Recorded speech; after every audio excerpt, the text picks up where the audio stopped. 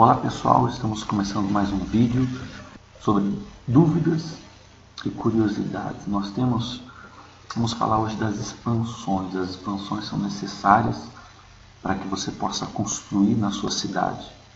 Muitas pessoas que jogam Forge of Empires, elas não sabem administrar bem as suas expansões e acabam criando um layout que não beneficia ela mas a gente vai estar falando sobre isso em outro, outro vídeo. Hoje eu quero falar para vocês sobre é, a quantidade de expansões que nós temos no jogo.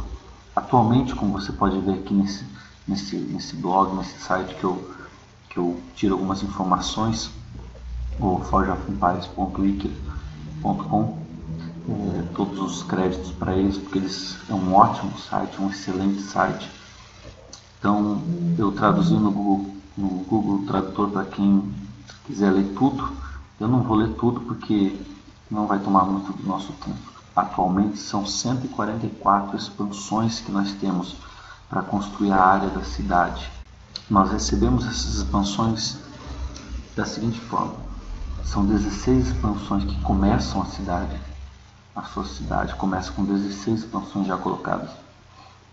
É aquele quadrado onde se começa você consegue 40 expansões compradas com moedas ou diamantes que você conquista desbloqueando através das pesquisas. Então, cada era das pesquisas vai desbloqueando algumas expansões. Ao passo que você desbloqueia, você compra elas com moedas ou com diamantes. Temos mais 27 expansões também compradas por moedas ou diamantes que são conquistadas junto com é, províncias no mapa da campanha. Você alcançando o mapa da campanha, você, é, você adquire essas, essas expansões para serem compradas. Temos mais 23 expansões que você compra com medalhas. Já já vou mostrar é, o quadro para você. E 26 expansões de diamantes, que são duas por idade e o, o preço delas vai aumentando. Então, vamos lá. Nós começamos aqui as expansões da seguinte maneira. Nós temos aqui está o quadro, você pode depois dar um pause se você quiser para você acompanhar. A última vai custar 2 milhões e 600 mil de ouro ou 800 diamantes, certo?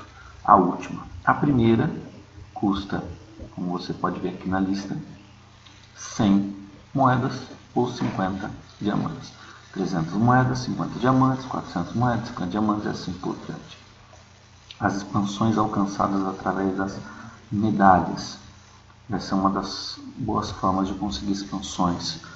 Você compra a primeira por 10 medalhas, a segunda por 50, a terceira por 200, a quarta por 500, por 1000, 2000, 3000, 5, 4000, 5 mil, 6 mil, aí pula para 9, 12, 15, 18, 21, 25, 30, 40, 50, 65 mil medalhas, 85 mil medalhas, 105 mil medalhas e 130 mil medalhas, certo?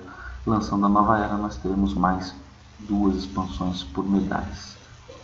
É, temos as expansões por diamantes, temos aqui as, as expansões por diamantes, e o custo dela aumentando a 200, 200, 400, 400, 600, 600, 600, 600, 600, 600, aí aumenta para 800 e por último as últimas quatro são mil diamantes.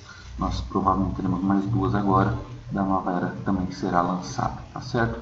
Então tá aí a tabela, a quantidade de expansões que você pode ter e quanto custa. Para você ter uma ideia, você vai precisar, se você for comprar todas as suas expansões é, conquistados nas pesquisas no mapa da campanha por moedas, você vai gastar 34 milhões 204 mil e 900 moedas.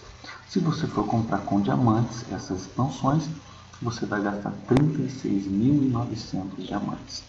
As expansões por medalhas, é, você vai gastar 620, perdão, 626.760 medalhas e as expansões por diamante você vai gastar 17.200.